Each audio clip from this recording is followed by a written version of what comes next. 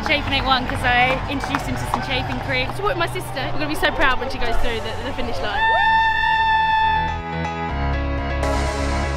We're supporting my brother, fulfilling his dreams. Dr. Lucy, slay the day. We have your rose.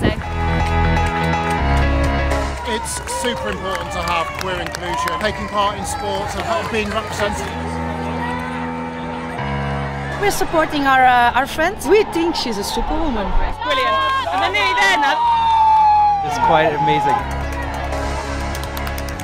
You have to put it in for the supporters running around the whole course trying to keep up with them. We've done about five stops now, so we feel like we've run the marathon ourselves. It's the crowd that keeps you going, especially when you get to sort of close to the end.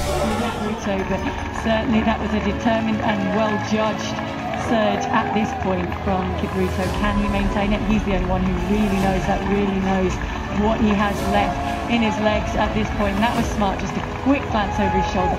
Not enough really for anyone to pick up behind as a sign of weakness, but enough to give him the information that he needs, that he has in fact built up quite a substantial gap up that incline out of the underpass.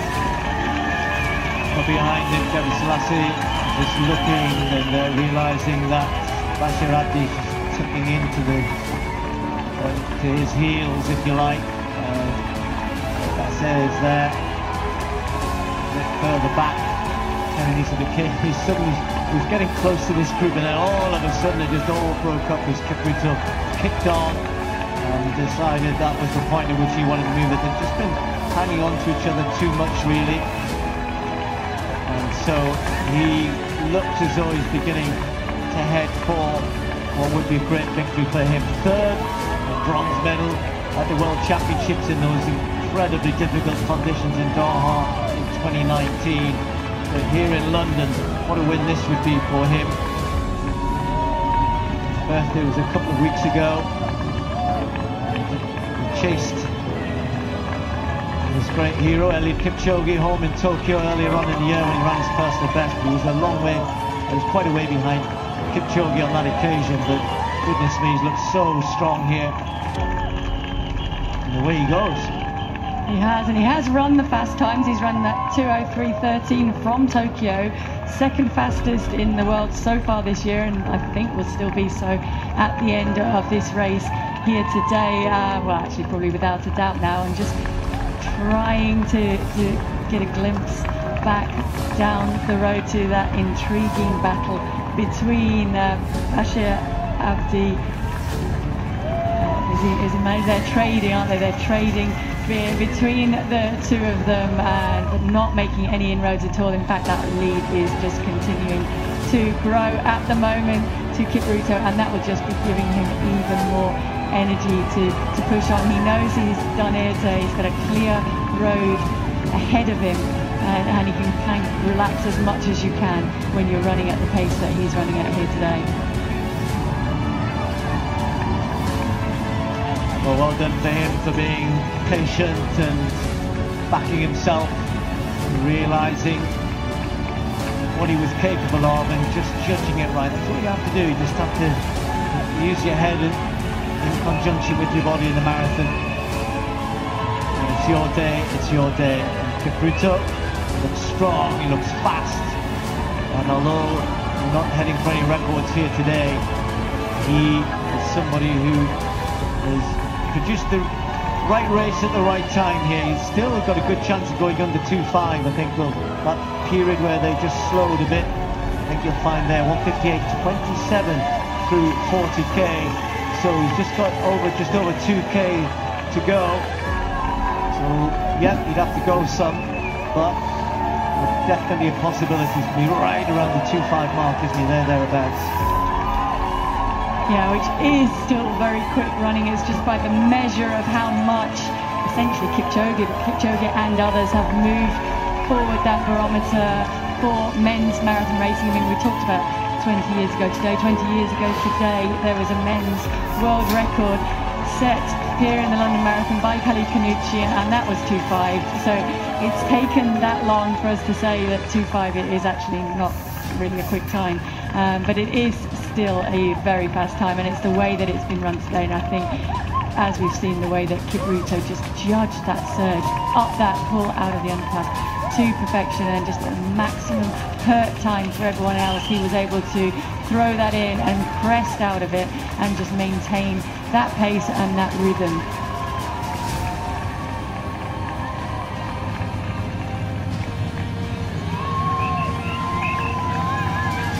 So he'll get to Big Ben, and that is 1,200 metres to go when he makes that turn, uh, and then 1,200 metres is essentially a victory, big lap into the finish. Well, we've got a wonderful view there, looking down as he heads towards Big Ben. And that's a pretty good lead he's got now. There's a really good scrap going on for second, third, and fourth behind him, and that's what it is, though. It's a race for second, third, and perhaps uh, Tanog can just try and get himself latched on to Bashir Abdi, who's leading Gebre Selassie. Hanging on to him at the moment, just keeps looking behind though, doesn't he? Sees his teammate just behind. Then at the front, Kipruto looking so strong. He says that uh, he grew up learning about Sammy Wanjiru, the Olympic champion from 2008. Uh, sadly died in an accident after that, but he's the man, he said, who inspired me to get going. And in recent years, it's been Eliud Kipchoge, of course it has. And he runs for the same team as Eliud Kipchoge and knows him well. Ran for Kenya at the Olympics, didn't manage to finish on that occasion despite that bronze medal at the World Championships. Tricky conditions in Tokyo as well, or in Sapporo indeed, where the Olympic marathon was held. But today, it's been very much to his liking.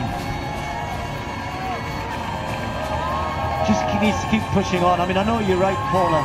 Oh, look at this. Uh, a bit of a break here from Gebre Selassie to try and get away. There you see the scrap for third.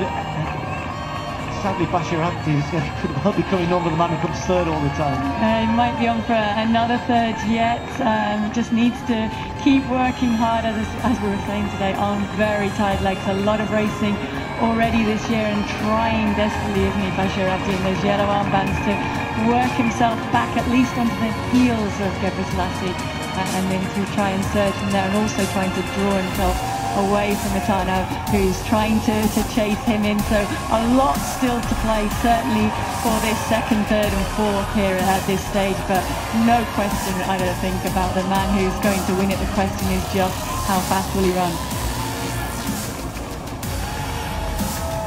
What a day for Amos Kipruto. The Kenyans were always wanting to come and run well here, but they were concerned that they didn't have know, enough guys in the race there won't various dropouts.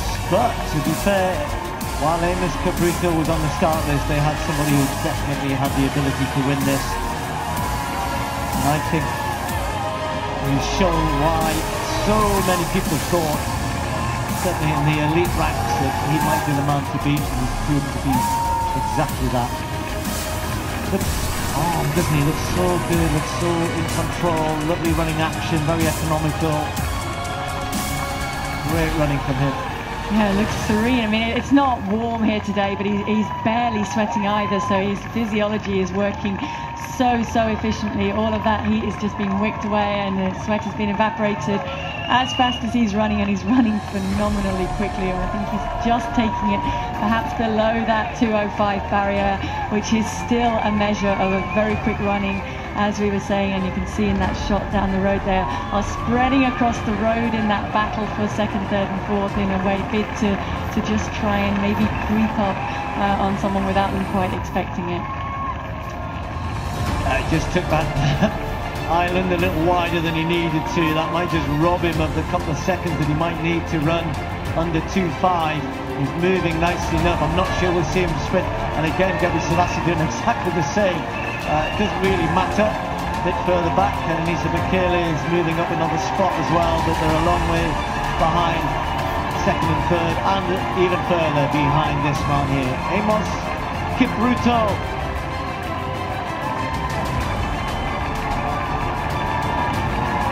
So Kipruto will be enjoying these moments, perhaps the biggest of his career, so much so that he manages a bit of a wave. He's not so bothered about the clock here. He has run quicker. He's personal best set in Tokyo earlier this year. But this is his moment. This is his day. This biggest win of his career, the world bronze medalist from 2019, becomes the London Marathon champion of 2022. And it is well inside 2 hours 5. Great performance from Amos Kipruto. Looked so good for so long. And when he made the move, it was a decisive one. Trusted himself. He does look tired now for the very first time, and so he should be. But what a good performance from him. Well, Leul Gebre Selassie was not one of the more fancy, certainly of the Ethiopians who is here, but what a race from him as well. Really good performance, managing to hold off Bashir Abdi. So he takes second place, Leul Gebre Selassie. Congratulations to him. And then Abdi third in a big race again. His two other thirds have been in the Worlds and the Olympic Games. So Atanaw hangs on for fourth place. And I think this is going to be Kenenisa Bekele who's going to come in next in fifth place. So another good performance. Don't forget Kenenisa Bekele, despite being one of the greatest of all time, he's 40 now. And to still be running at this level. Going out so fast uh, and then essentially holding on. Oh, oh, had a fall there. That, that was Yehualaw. It was it was one of those uh, sleeping policemen, the, the humps in the road that we've talked about. She...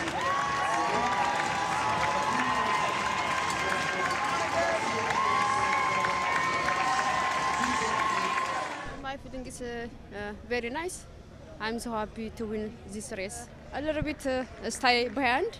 Uh, I feeling that time. Uh, then uh, after 35 kilometer and 35, 35 37 kilometer, then a little bit uh, uh, keep going uh, fast. That's quickly fast to win. for marathon, hard work pay.